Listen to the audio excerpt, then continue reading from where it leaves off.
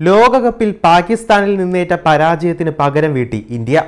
Asia കപ്പിലെ ആവേശകരമായ രണ്ടാം മത്സരത്തിൽ തിരിച്ചടി നൽകിക്കൊണ്ടാണ് ഇന്ത്യ പാകിസ്ഥാന് മറുപടി നൽകിയത്.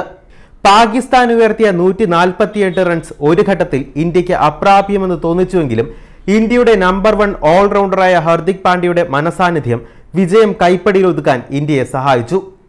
ബൗളിംഗിൽ ഇരുപത്തിയഞ്ച് റൺസ് വഴങ്ങി പാകിസ്ഥാന്റെ മൂന്ന് വിക്കറ്റുകൾ പിഴുത ഇന്ത്യയുടെ മാസ്കൂൾ ഹീറോ തന്നെയാണ് കളിയിലെ താരം. പതിനേഴ് പന്തിൽ മുപ്പത്തിമൂന്ന് റൺസ് എടുത്ത പാണ്ഡ്യ ബാറ്റിംഗിൽ ഇന്ദ്രജാലം നടത്തിയാണ് മത്സരം ഇന്ത്യയ്ക്ക് അനുകൂലമാക്കിയത്. നാല് ബൗണ്ടറികളും ഒരു സിക്സറിന്റെയും അകമ്പടിയിലായിരുന്നു മുപ്പത്തിമൂന്ന് റൺസ് പൂർത്തിയാക്കിയത്. ആദ്യ പന്ത് മുതൽ അവസാന പന്ത് വരെ ആകാംക്ഷയുടെ മുൾമുനയിൽ നിന്ന മത്സരത്തിൽ രവീന്ദ്ര ജഡേജ ഇരുപത്തിയൊമ്പത് പന്തിൽ മുപ്പത്തി അഞ്ച് റൺസ് നേടി പാണ്ഡ്യയ്ക്ക് ഉറച്ച പിന്തുണ നൽകി. പത്തൊൻപത് ദശാംശം നാല് ഓവറിൽ രണ്ട് പന്ത് മാത്രം അവശേഷിക്കെ ഹാർദിക് പാണ്ഡ്യ നേടിയ തകർപ്പം സിക്സറിന്റെ പിൻബലത്തിൽ ഇന്ത്യ വിജയം കൈപ്പടിയിലൊതുക്കി ഓപ്പണർ കെ എൽ രാഹുലിനെ ഗോൾഡൻ ഡക്കിൽ പുറത്താക്കി പാക് അരങ്ങേറ്റ താരം നസീം ഷാ ഇന്ത്യയ്ക്ക് ആദ്യ ഷോക്ക് നൽകി. പിന്നാലെ എത്തിയത് നൂറാം രാജ്യാന്തര ട്വന്റി ട്വന്റി മത്സരം കളിക്കുന്ന മുൻ ക്യാപ്റ്റൻ വിരാട് കോഹ്ലി. രോഹിത് ശർമ്മയെ കാഴ്ചക്കാരനാക്കി കോഹ്ലി തകർപ്പൻ ബാറ്റിംഗ് തുടങ്ങിയതോടെ ഇന്ത്യൻ സ്കോർ പതുക്കെ മുന്നോട്ട് ചലിച്ചു. ഇന്ത്യയ്ക്ക് അടുത്ത തിരിച്ചടി നൽകി ക്യാപ്റ്റൻ രോഹിത് ശർമ്മയെ മുഹമ്മദ് നവാസ് പുറത്താക്കിയതോടെ സമ്മർദ്ദത്തിലായ കോഹ്ലി ഉയർത്തിയടിച്ച് സ്കോർ ഉയർത്താനുള്ള ശ്രമത്തിനിടെ മുഹമ്മദ് നവാസിന്റെ പന്തിൽ ഇഫ്തീഖർ അഹമ്മദിന്റെ കൈകളിൽ ഒതുങ്ങി. ബാറ്റിംഗ് ഓർഡറിൽ പ്രൊമോഷൻ ലഭിച്ച രവീന്ദ്ര ജഡേജയാണ് പിന്നീട് ക്രീസിലെത്തിയത്. സൂര്യകുമാർ യാദവിനൊപ്പമുള്ള ജഡേജയുടെ പാർട്ണർഷിപ്പ് മുപ്പത്തിയാറിൽ നിൽക്കെ നസീം ഷാഖ് അടുത്ത വിക്കറ്റ്. കോഹ്ലി മുപ്പത്തിയഞ്ച് റൺസിന് പുറത്ത്. പതിനെട്ട് പന്തിൽ പന്ത്രണ്ട് റൺസായിരുന്നു ക്യാപ്റ്റൻ രോഹിത് ശർമ്മയുടെ സമ്പാദ്യം.